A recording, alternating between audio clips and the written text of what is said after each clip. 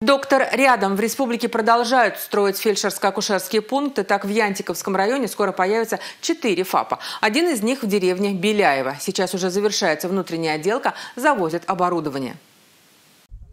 В деревне, где всего-то четыре сотни жителей, ФАП возводит в рамках федеральной программы модернизации первичного звена здравоохранения. Уже совсем скоро качественная медпомощь в шаговой доступности. Раньше были вынуждены ездить к доктору 2 километра. Почти половина населения здесь пенсионеры, и им важно, чтобы врачи были рядом. Теперь ФАП, местные его называют офисом, почти готов к открытию. У нас офис села Алдярова там, внизу.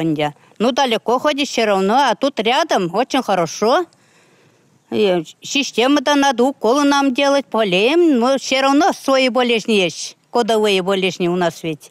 Само здание уже готово. Ведется монтаж кровли и перекрытий. Внутри оштукатурены стены и уложен пол. Одновременно со стройкой идет и оформление медицинской лицензии. Внутри модульного фельдшерско-акушерского пункта будет располагаться кабинет приема, прививочный кабинет, процедурный кабинет, э, санузел, будет оборудован всем необходимым медицинским оборудованием, будет обустроен пандусом для маломобильных групп граждан.